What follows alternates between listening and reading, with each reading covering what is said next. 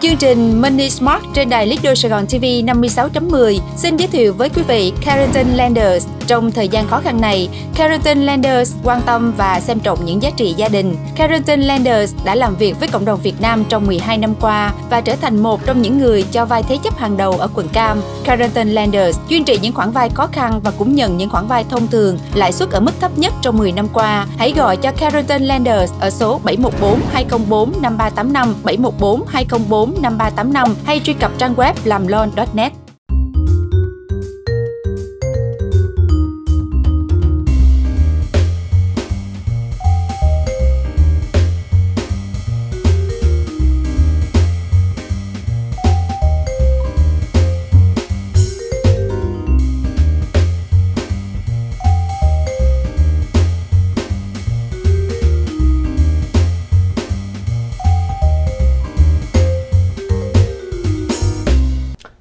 kính thưa quý vị, tôi là Nguyễn Thành Tâm với chương trình Khéo Dùng Tiền. Hôm nay mình đã tia, đang tuyết, tiếp chuyện với anh Nguyễn Hoàng Sơn, một nhà đầu tư mà một nhà rất là đang nghiên cứu thực tế. À, đã, Tâm đã đặt câu hỏi về cái Roth IRA là gì, khi mình hữu trí à, về hưu mình nên làm gì thì anh đang và tiếp tục à, à, giải thích ngay cái kinh nghiệm của ảnh ờ, về về vấn đề đầu tư và và cái flipper ờ, thành ra thưa anh có thể tiếp tục cái câu chuyện uh, về flipping houses về đầu tư cái đất mà uh, vừa rồi mà anh anh bán ở Lake Paris. Uh, thưa anh có thể tiếp tục cái câu chuyện này để để mình uh, mấy người như tâm muốn học hỏi cũng mong là uh, mong là không có làm cái mistake hoặc là mình nên watch out cho cái gì và mình nên đầu tư thế nào chứ cũng khi chưa làm cũng rất là sợ, rất là ngại khi khi khi mua, biết đâu mình mua miếng đất mà mà lại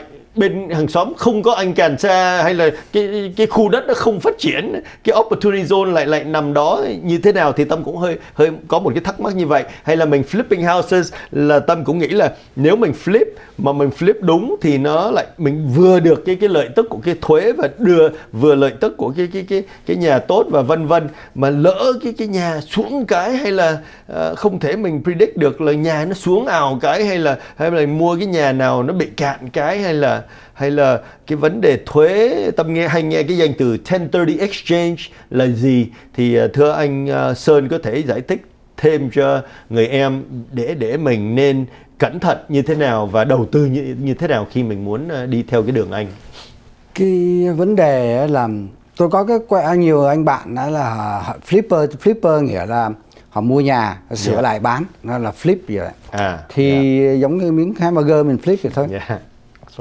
thì mấy người đó thì họ hay dùng gọi là LLC uh, uh, IIA thì họ có cái checkbook họ tự họ tự đo, đo, nghiên cứu để đầu tư chứ không phải qua những cái cố vấn tài chính thì họ mua nhà xong rồi họ dùng cái check họ trả xong rồi lúc mà bán đó, thì bán thì họ vô trong cái quỹ của cái cái IRA của họ thôi. Yeah. Yeah thì có những cái vấn đề ra nó nhớ lại là các người mà tiểu thương đó yeah. Dạ. nên sử dụng là tốt nhất là solo for one k tôi có một cái tôi có một cái chương trình như vậy cái đó là một năm ở IIA á, thì người ta chỉ cho mình bỏ đầu tư vào bỏ vào một năm 6 ngàn tối đa trên 59 tuổi thì 7 ngàn còn um, solo 401k thì họ cho mình ờ, tối đa là 50 ngàn một năm ừ. cho nên những người nào mà đi ờ, làm nail làm ấy đó thì họ có thể là cứ khai đầy đủ yeah. Dạ. xong rồi bỏ và set up một cái ờ, solo 401k rồi xong rồi họ trừ ra 50 ngàn để bỏ vào cái tiền hưu trí cho họ Đúng rồi. thì 10 năm mà được nửa triệu hai chục năm là một triệu thì bỏ vào cái tiền đó họ có thể đầu tư vào stock hay là đầu tư vào uh, cho tôi vay nhà cho cho vay tiền đại khái là ăn ăn lời các cổ. Thì cái, nó có nhiều cái chương trình lắm. Cho nên nhiều khi ở đây đang anh đang hỏi với tôi cũng không không nhớ nhiều không lắm. cảm ơn anh. Anh anh anh trong ngành nail mình hoặc là tất cả các ngành dịch vụ và personal care service industry vân vân. À, anh anh mới nhắc tới một cái rất quan trọng là là thế hệ bố mẹ tâm là hay uh, lấy công làm lời và và ấy làm cái gì cũng tiền mặt và các giấy khai thuế không có khai hết vân vân.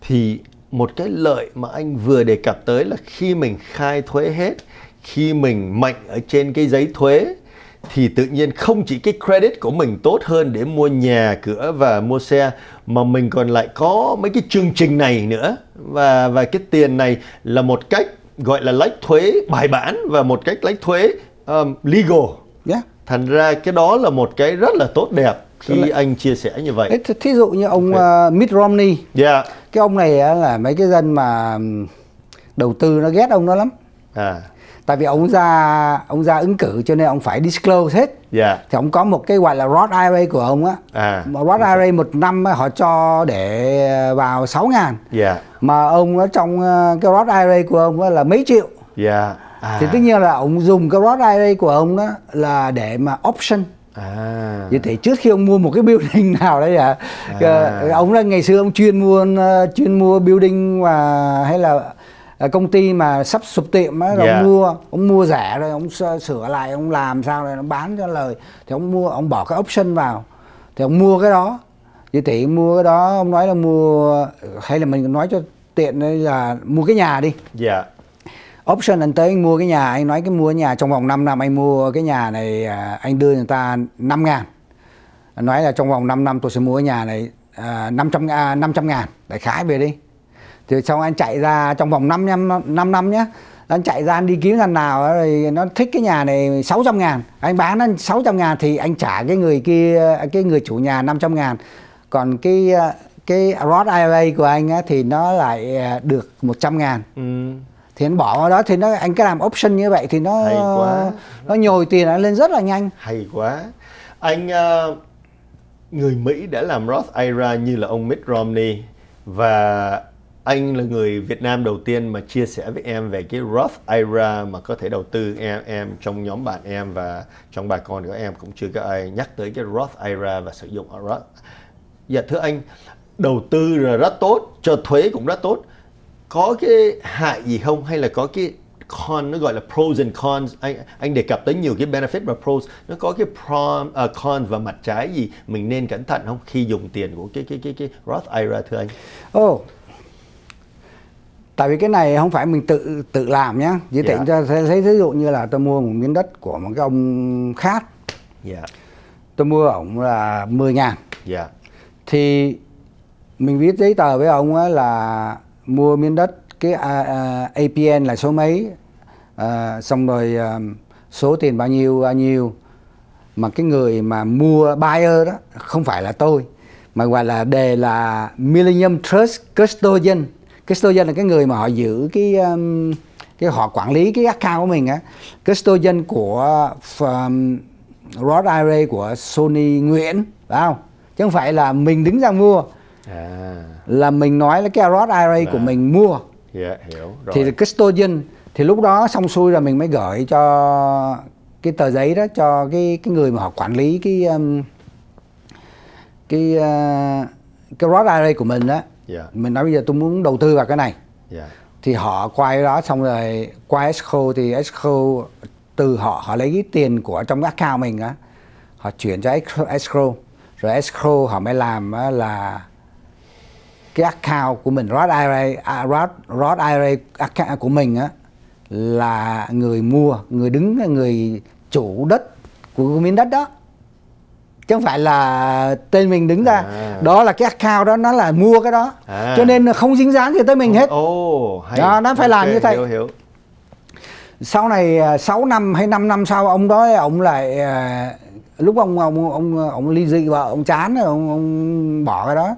Dạ. sau 5 năm sau ông gọi mình lại nói bây giờ tao có bà vợ mới à. bây giờ tôi muốn mua lại miếng đất để tao xây căn nhà xây tổ huyền ương cho tụi tao thì mình nói ok mình bán lại thôi.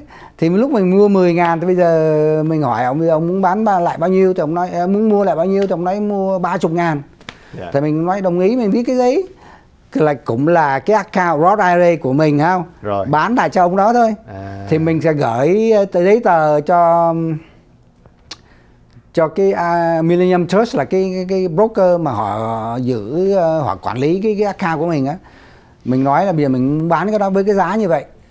Thì uh, qua Esco thì Esco mới là uh, bắt cái họ ký tên đó để mà chuyển uh, cái um, cái title cho cái ông mua lại. Ừ. rồi cái tiền Esco nó trở vào trong cái account của mình.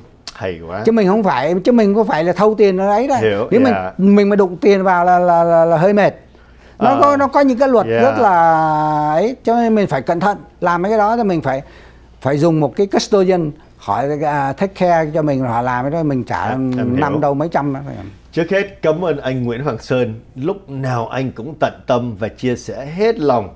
Không cái gì giấu hết và coi như là chia sẻ cái cái anh đã thành công rồi mà chia sẻ tất cả cái bí quyết của anh mà đã biết bao nhiêu năm kinh nghiệm và chia sẻ với em và khán thính giả. Thành ra cái đó là một điều rất quý. Em à, cũng thay mặt chương trình khéo dùng tiền với lại với tư cách là một người em và co-host trong chương trình này à, cảm ơn anh Nguyễn Hoàng Sơn rất nhiều. Và cũng mời anh Sơn có đôi lời tạm biệt với à, khán thính giả. Chúng tôi Nguyễn Hoàng Sơn xin kính chào quý khán giả và hẹn lần tới. Ờ, cũng xin nhắc lại là chúng tôi chỉ chia sẻ những kinh nghiệm cá nhân chứ không có ý gì để mà chỉ bài ai à, để đầu tư quý vị có thắc mắc thì nên à, tiếp tục à, hỏi các cố vấn tài chính à, quý vị quen biết để mà họ nói rõ thêm chi tiết cho quý vị. Xin cảm ơn. Cảm ơn quý vị. Hẹn lại lần sau. Xin cảm ơn.